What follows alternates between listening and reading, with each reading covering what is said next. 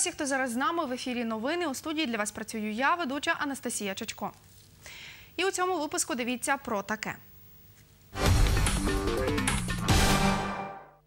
Працівники обласної держекоінспекції та муніципальної поліції провели рейд щодо несанкціонованого спалювання опалого листя. Людина спалювала суху рослинність, в тому числі і баделя, і те, що зростало тут на цій земельній ділянці, що заборонено законом.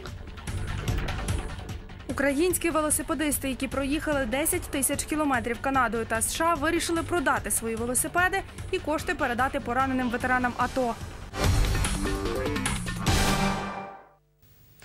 Три випадки спалення сухого листя зафіксувала наша знімальна група під час рейду спільно з працівниками обласної держекоінспекції та муніципальної поліції Тернополя. Зараз матеріал про це готується до ефіру. За мить ми вам його покажемо. А тим часом продовжуємо наш випуск. Велосипедисти, які проїхали 10 тисяч кілометрів Канадою та США, вирішили продати свої велосипеди на аукціоні. Частину вилучених коштів передадуть пораненим ветеранам АТО. Також за київським часом, 7 вересня о 3 ночі у Вашингтоні велосипедисти зустрінуться з українським послом в США. У нас вже відбувається аукціон, е, і всі велосипедисти, які мають велосипеди, то вони продають.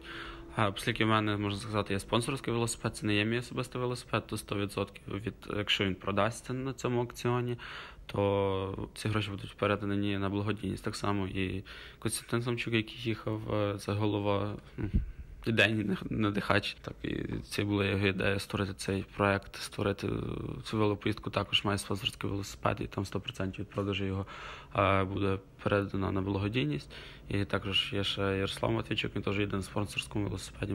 Він також 100% е, від продажу свого велосипеду буде переданий на благодійність. І всі учасники вони мають свої особисті велосипеди, які також продаються на аукціоні, то там е, лише 10% від продажу їх буде передано на благодійність. Аукціон він відкритий в інтернеті, там в Фейсбуці, можна на нашій офіційній сторінці. Завтра за 24 години буде вже закритий. От мій особистий велосипед буде коштувати е, 400 доларів. От стартова ціна через те, що ми його купляли по такій ціні. Ті інші теж десь в тому районі. Зазначив вісім українських велосипедистів. Шестеро із Києва, один із Херсона та один із Тернополя стартували 22 травня у Лос-Анджелесі, щоб мандрувати Сполученими Штатами Америки і Канадою. Там вони розповідали про події на сході України, зустрічаючись з українською діаспорою. Завершили велопробіг чумацький шлях 29 серпня у Вашингтоні, подолавши 10 тисяч кілометрів. Вони зібрали 10 тисяч доларів на допомогу пораненим ветеранам АТО. 8 вересня мандрівники вирушать в Україну. Ми інформаційно підтримували велосипедистів від початку їхньої поїздки і зробили 40 матеріалів на телебаченні і радіо. Дивіться, як вони мандрували.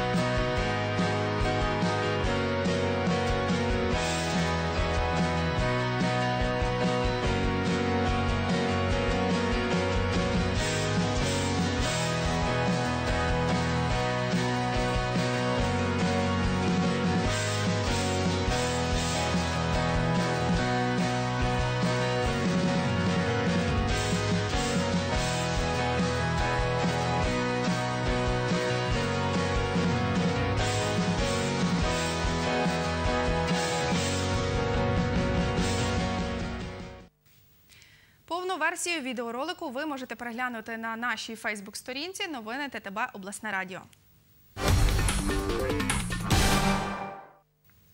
І повертаємось до матеріалу про рейд. Три випадки спалення сухого листя зафіксувала наша знімальна група під час рейду спільно з працівниками обласної держекоінспекції та муніципальної поліції Тернополя. Перевірку проводили в обласному центрі та околицях. Доктор біологічних наук Василь Грубінко розповів, що дим, який виділяється під час горіння сухого листя, має негативні наслідки для людей, тварин та екосистеми. За такі дії без відповідного дозволу передбачена адміністративна відповідальність, каже екоінспектор Михайло Онищук.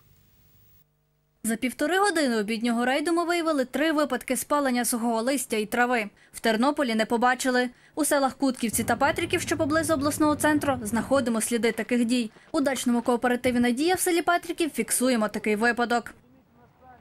Я знаю, що порушую, я не знав такого. Кожен рік Тому така я вам дам мінімальний штраф. Для мене велика, тому що я отримую пенсії цілих ноль, і я пенсію всю віддаю за хату. Мені, мені лишається 300 гривень, мені більше не лишається. Все. Мені лишається 300 гривень. І то на місяць. Там, де за Суму штрафу була 170 гривень. Оскільки я, по-перше, побачив, що це тільки початок опалення, ви можете самі побачити раз. По-друге, враховуючи е, обставини цієї справи, в тому числі його стан, що людина хвора після інсульту, що розкаються в своєму здійсненому цьому порушенню, дав мінімальний штраф 170 гривень. Сусід Євген Мельничук каже, тут всі спалюють рослини. Відколи ми тут живемо, відколи люди всі в селі живуть, всі палять. Правильно говорять про екологію, повітря, то, але ви так зробіть, щоб було нормально того, а не такого прийшов і вже штрафує хлопа. А він має пенсію 1500 гривень чи 1400. За що буде платив? На іншій ділянці цього ж кооперативу Надія бачимо дим. Власник будинку спілкуватися з нами, з працівниками муніципальної поліції та екоінспекторами відмовився. Вогонь загасив. Є чи немає? Це кооператив Лаванда, який знаходиться у селі Петриків. За дане порушення передбачено адміністративну відповідальність. Я не просто не знала, ми завжди спалювали весь час, весь час спалювали. Яма в мене є, ну там гілки просто були. І через те, е, а в ямі в мене є все. Дим із цих ділянок поширюється на обласний центр, каже поліцейський Володимир Сосновий. За словами доктора біологічних наук Василя Грубінка, такий дим має канцерогенну або токсичну дію для органів дихання, викликає алергічні процеси. Науковець пояснює, цей дим знижує родючість ґрунту, вбиває мікрофлору. Василь Грубінко каже, що є нешкідливі способи утилізації сухого листя і трави. Основний спосіб це компостування. Шанси, ями, е, є дуже багато пропозицій відносно компостування. Впродовж півтора-двох років листя перегниває, його можна використовувати як мінеральне е, органічне, вибачте, добриво.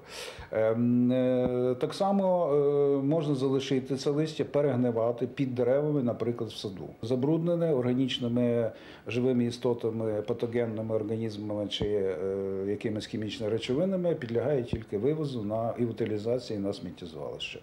Е, Це досить дорога справа, але разом з тим е, це варто і треба робити. За спалення сухої рослинності передбачена адміністративна відповідальність. Правопорушники мають сплатити штраф від 170 до 510 гривень. Марта Жураваль, Андрій Прокопів. Новини.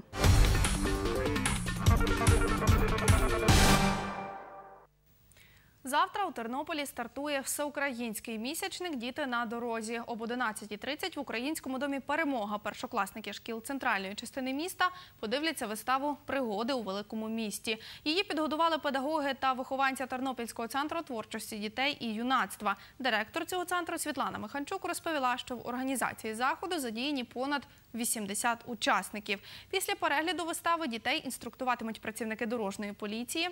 Першокласники масиву Сонячний та Східний зможуть взяти участь у пригодах у великому місті в понеділок об 11.30 в кінопалаці Довженка і учні масиву Дружба у вівторок у Березолі. Також завтра на заході у перемозі будуть наші журналісти. Ми проводимо цикл ігрових е, заходів, де би ми в такій, в такій ігровій казковій формі, казкові герої, е, герої з мультиків, які знайомі нашим першокласникам, могли розказати нашим е, школярам про те, як вести себе правильно на дорозі, як дотримуватися правил дорожнього руху для того, щоб з ними не трапилося біди, як це трапляється з нашими героями в наших ігрових ранках. Тому, власне, і педагоги, і гуртківці центру творчості кожного року проводять цикл таких е, заходів для наших школярів по мікрорайонах в місті Тернополі. Для того, щоб е, підкреслити значимість е, цього заходу, ми завжди запрошуємо представників дорожньої поліції. Вони завжди з задоволенням приходять, розказують на такому доступному для дітей рівні основні правила, як переходити дорогу, що таке зебра, як дивитись направо, наліво, коли ти переходиш дорогу. Дітки послухають поліції, подивляться виставу, пограються в гру, яка також вчить їх правил е, дорожнього руху. І після цього виходять на вулицю. Вчителі, я думаю, їх ще раз запитають, як діти себе правильно вести, як переходити дорогу. Жителі Тернопільщини та всієї України можуть виграти тисячу гривень за найкращу світлину у Берщівській вишиванці. Переможці будуть оголошені під час 11-го всеукраїнського фольклорно-мистецького фестивалю Борщівська вишиванка, який відбудеться 8 та 9 вересня 2018 року. Ми в минулому році започаткували таку цікаву традицію конкурс е, світлин у чорній борщівській сорочці. В минулому році в нас переможцями конкурсу стали жінки поважного віку із села Дністрове, які були е, одягнуті не просто в чорну борщівську сорочку, а в повністю е, давній автентичний борщівський костюм. В цьому році ми цю традицію продовжуємо на своїй сторінці у Фейсбуці, на сторінці відділу культури, туризму і релігії районної державної адміністрації. Ми вкотре поширили інформацію про те, що ми проводимо конкурс е, світлин у чорній борщівській сорочці. Для того, щоб стати учасником конкурсу, є дві е, ну такі умови обов'язкові. Перше, це має бути сучасне фото, і обов'язково е, людина має бути одягнена у чорну давню борщівську сорочку. Переможці будуть визначатися за кількістю лайків на нашій сторінці.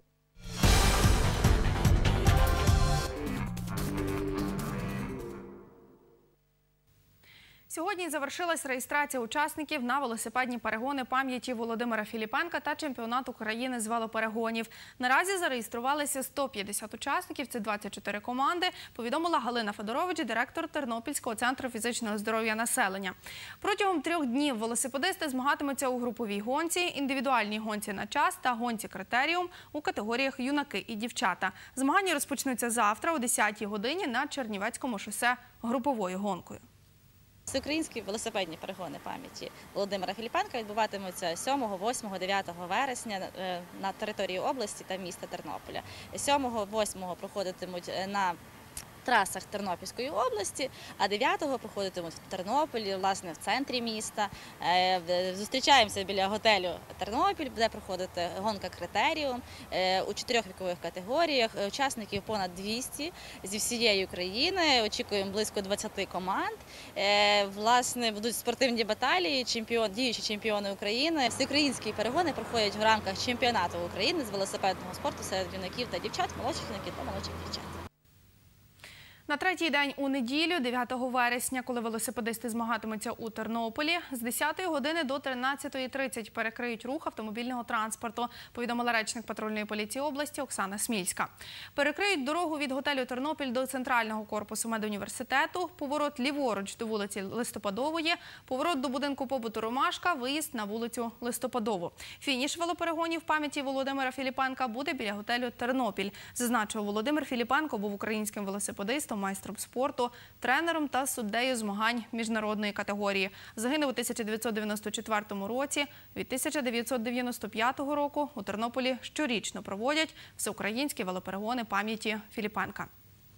Такі новини на цю годину. Наступне інформаційне оновлення дивіться о 20.40. Не пропустіть.